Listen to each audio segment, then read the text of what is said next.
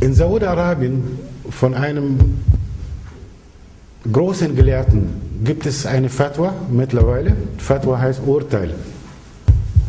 Jemand, der nicht betet, man muss ihn ermahnen und nur drei Tage Zeit geben. Wenn er immer noch nicht betet, der muss getötet werden.